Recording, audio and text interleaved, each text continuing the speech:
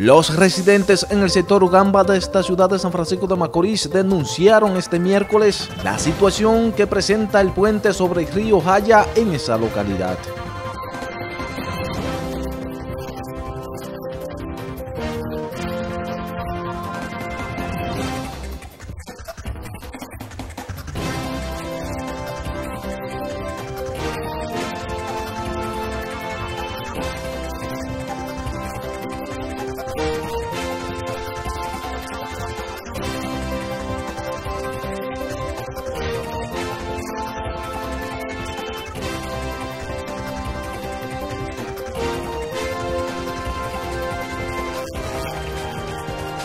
El presidente de las juntas de vecinos de esa zona, Hipólito Almonte, no descarta un llamado a huelga para los próximos días en demanda a la construcción de dicho puente.